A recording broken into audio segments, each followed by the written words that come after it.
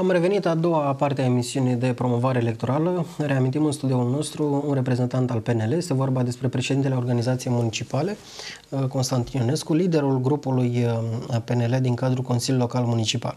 Domnul Ionescu uh, a început deja campania door-to-door, sau mă rog, nu neapărat door-to-door, ci în public, pentru PNL. Sigur, am da? început și în precampanie, partea de informare de candidați, de minim program Uh, a fost și perioada sărbătorilor și atunci există și un respect față de orice comunitate, până la urmă creat acea liniște de sărbători. Uh, și vom începe, uh, sigur, pentru că a trecut perioada de sărbători, așa cum a fost și obișnuit, așa cum am făcut și eu de atâtea ori, perioada, campania din ușă în ușă, discuție cu oamenii.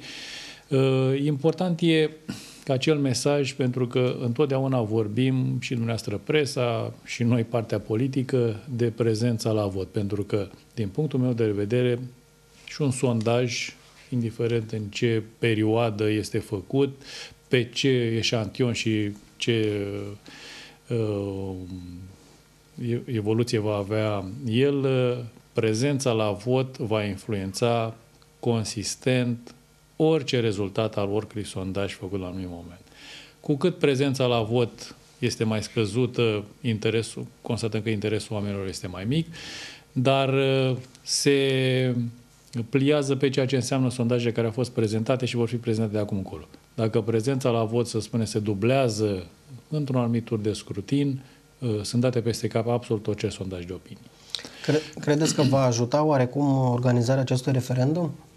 Să fie mai multe persoane uh, prezente la, la Sigur, uh, am văzut și eu diverse poziții ale unor analiști, unor politologi. Uh, partea de sondaj, sigur că are rolul el în ceea ce înseamnă consultarea populației pe teme de justiție, atât de importante, și va trebui să capaciteze interesul oamenilor și ce formațiuni politice, cum suntem și noi PNL, ne lipim de ceea ce înseamnă respectarea justiției în, România, în România, va trebui să găsim uh, acel mesaj prin care să capacităm uh, oamenii să iasă la vot, pentru că, repet, a ieșit la vot într-un procent destul de mare, substanțial față de ceea ce a însemnat până acum, va schimba total situația rezultatelor și va da peste cap orice sondaj de opinie, din punctul meu de vedere. Da, bine, acum... Uh, Vedeți dumneavoastră știu... că orice sondaj pe care ați prezentat dumneavoastră și la nivel local și la nivel național preluat, uh, un sondaj de opinie pe un eșantion, în condițiile în care 60% nu-și exprimă opțiunea de vot și spun că nu vor merge și nu știu dacă vor merge, vor merge la vot, automat cine își va mobiliza electoratul va își păstra uh, rezultatele dintr-un sondaj plus minus uh, o anumită eroare dată de sondaj. Dar în condițiile în care uh, procentul la vot ar depăși 60%, aș spune, ceea ce este un lucru uh, substanțial în România, ar însemna uh, dat peste cap absolut orice procent al oricărui formațiune politică sigur, plus, minus uh, partea de eroare a sondajului. Dar, uh, repet, uh, influențează foarte mult și poziția oamenilor este determinată în ceea ce înseamnă rezultatul unui tur de scrutin.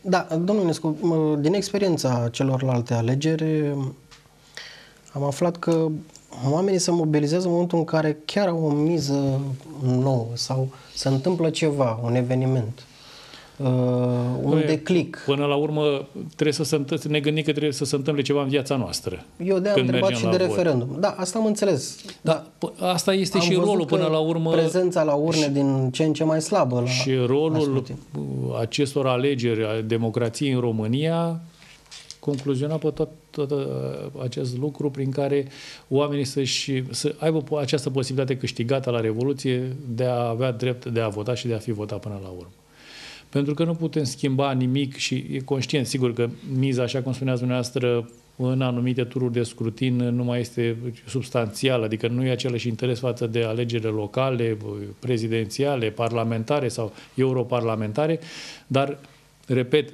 dacă nu ești partener și nu ajungi să discuți de la egal la egal, să fii partener cu tot ceea ce înseamnă state puternice din Uniunea Europeană, nici comunitățile locale nu se vor dezvolta. Da? Uh, și vă dau un exemplu privind uh, promovarea unor candidați, a unor europarlamentari în funcție. A fost fenomenul cu pesta porcină, cu acel dezastru în România, da. prin care uh, guvernul n-a fost în stare, cu toate că a fost anunțat cu 2 ani de zile în urmă, vezi că va veni, că se va întâmpla o chestiune urâtă în România, oamenii au rămas fără animale, uh, Sigfrid Mureșan, europarlamentar, a fost cel care în Parlamentul European a obținut uh, acel uh, avantaj, să spun așa, și acea posibilitate prin care ce, cei cărora li s-au luat animalele din gospodărie, au fost sacrificate ca urmare a acestei boli, au primit uh, bani, compensații pentru acele animale pe care le-au pierdut. Sigur, omul, suntem uh, un popor tradițional, dacă n-ai de Crăciun, de Paște, să stai animalul și să te bucuri de acel eveniment, uh, până la urmă te-ai mulțumit cu banii pe care ți-a dat și ai primit înapoi pe acea pagubă pe care uh, a fost făcută, făcută, deci bani cheltuiți din punctul meu de vedere pentru o incompetență și o uh, nepăsare față de cei care trebuiau să ia acele decizii, măsuri uh, și să prevină ceea ce se putea, s-a, s-a, s-a întâmplat în România cu sacrificarea de sute de mii de animale, ferme, gospodării, și oameni care au fost, ați văzut, plângând că li s-a luat animale din curte.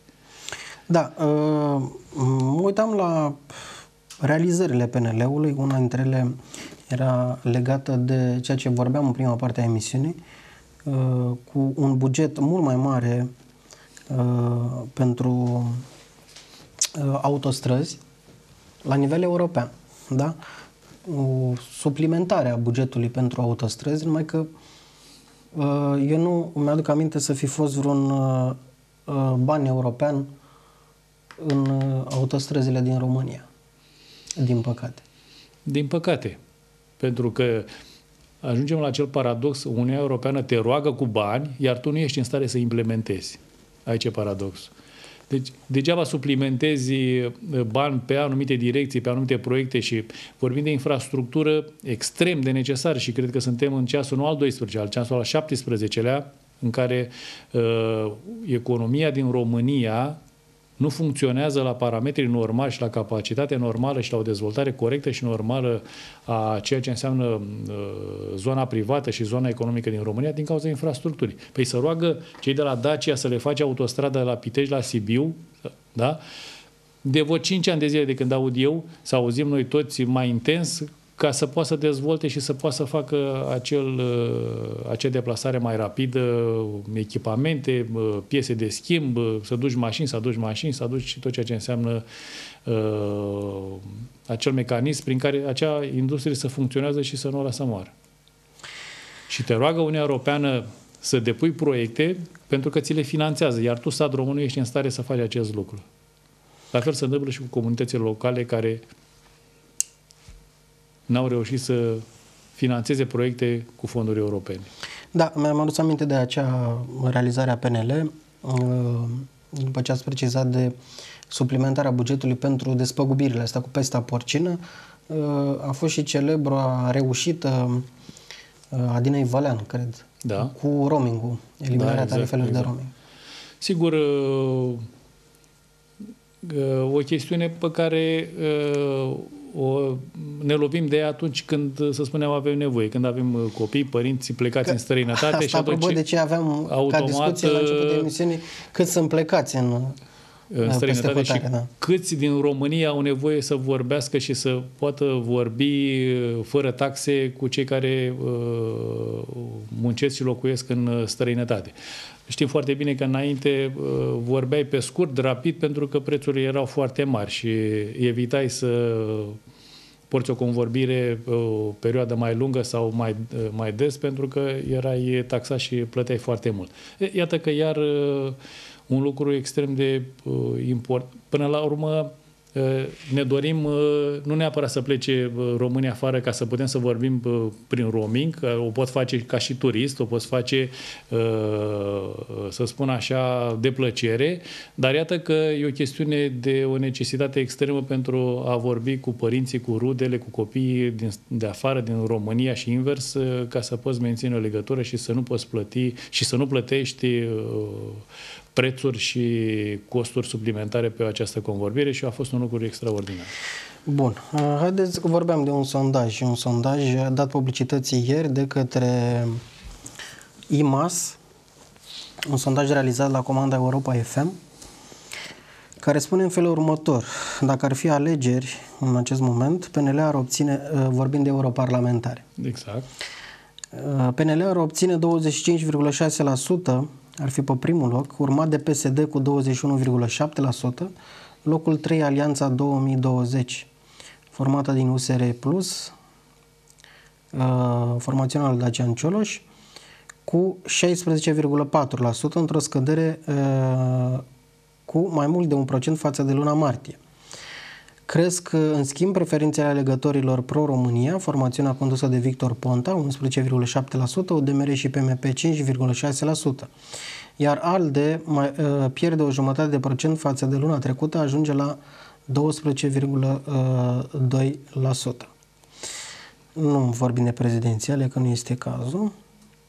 Haideți să vedem datele eșantioane a fost, uh, după cum spuneam, realizat acest uh, sondaj IMAS la comanda Europa FM. Între 12 și 25 aprilie, prin telefon, au răspuns 1010 persoane cu vârstă de peste 18 ani. Eroarea sondajului este de plus minus 3,1%. Sigur, dar sondajul nu face precizarea din cei care au fost intervievați cât s-ar prezenta și cât s-ar vota la alegerile din 26 mai, pentru că, așa cum am spus, relevant, edificator și de un impact uh, destul de mare are și prezența la vot vis-a-vis de orice rezultat. Aici uh, e un sondaj raportat la cei care au anunțat că se prezintă la vot. Deci au fost eliminați, da. practic, din sondaj persoanele care au spus, doamne, nu exact. nu votez.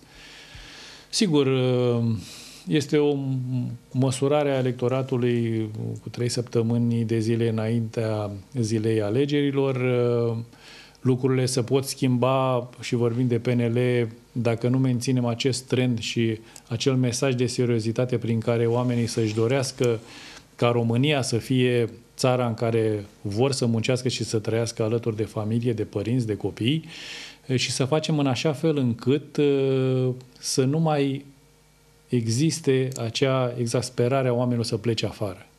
A, că te duci să muncești pentru că ți-ai găsit un job mai bun, mai bine plătit, ai o experiență mai vastă, poți face altceva în, în cariera profesională a cuiva este în regulă. Dar să te duci să muncești pentru că ajungi într-un prag de disperare a familiei și a ta pentru că nu ai cu ce o întreține, sunt lucruri uh, diferite și separate care uh, sunt necesare a fi tratate cu mare responsabilitate.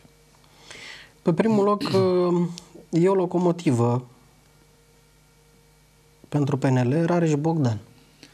Sigur că da, eu m-am bucurat foarte mult că a acceptat uh, această invitație și de a reveni până la urmă în PNL și de a fi locomotiva pe um, cap de listă la alegerile europarlamentare. Este, a fost un coleg și este în continuare un coleg al dumneavoastră din presă, provenind din uh, zona mass media. Un personaj și o persoană care în care eu am încredere nu neapărat prin ceea ce spune și pozițiile pe care le-a avut de atâția ani în presa centrală, dar și prin profilul lui, pentru că, așa cum spuneam și la alegerile locale, dacă vrei să vezi cine va câștiga, nu o să, n-o să ajungi în luna respectivă de campanie electorală să-ți creeze alt profil față de cel care l-ai avut de atâția ani în urmă. Da? Omul citești uh, de-a lungul timpului, de-a lungul anilor și uh, vezi capacitatea, seriozitatea și profilul acelei persoane de a-ți transmite și de a uh, avea acea încredere prin care să-l votezi. Și este o persoană în care, repet, are toată încrederea și am toată încrederea în domnia sa. Da, vine cu un bagaj de telespectatori de la televiziunea a care a realizat niște emisiuni contra puterii și, evident, pe fondul nemulțumirilor cetățenilor, a reușit să capteze o bună parte din electorat. E și motivul pentru adică sunt convins că e motivul pentru care și PNL a zis să-l capaciteze așa, și să-l pună primul pe listă. Așa cum ar fi fost valabil și pentru noi asta dacă ați fi intrat în o anumită zonă, pentru că, repet, ați realizat o serie de emisiuni de când vă cunosc diverse posturi de da, televiziune. Da, știți, dar nu acum, neapărat... dacă mă tot provocați, domnul Rareș Bogdan nu, nu e vorba de provocare, criticat, e vorba de... A, a criticat foarte mult PNL. Păi și ce? La, Asta la înseamnă că e o chestiune adică... prin care să nu poți să ai e ceva cu lada de gunoi. Cu lada de, de gunoi. În regulă, dacă la momentul respectiv a simțit acest lucru, îl faci, da. nu? Nu, mă uitam, e o, strate- repet, de exprimare... eu recunosc că e o strategie foarte bună. Din punct de vedere de jurnalist, dacă mă întrebați, n-aș ajunge niciodată să încep să mă dau cu capul de laptop aici și să țip să zic că premierul e, e prost. Sau, mă rog, i-a zis că e proastă, de fapt. Că e o, e, e o doamnă. Adică trebuie să existe o limită pentru un moderator. Uh, asta dacă uh, vreți să-mi spun opinia legată de profesional de domnul Rareș Bogdan. Dar pentru PNL a fost o mișcare foarte bună din punct de vedere politic, clar. Pentru că, uite, de exemplu, dacă venea cu doamna Dina Vălean, care a avut foarte multe realizări în Parlamentul European, nu e o persoană cu notorietate.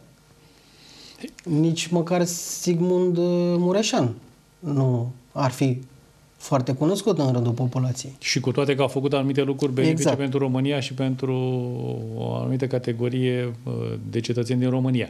Sigur, uh, până la urmă, politica uh, o faci cu oameni cu notorietate, cu oameni de încredere, cu oameni care îți transmit acea încredere și acea responsabilitate prin care ceea ce spun vor duce și la bun sfârșit și mi se pare o chestiune uh, acum dacă nu era sau dacă era altcineva, întotdeauna voi uh, putea exista și critici uh, sau aprecieri față de o altă persoană dacă n-ar fi fost dumnealui primul pălist.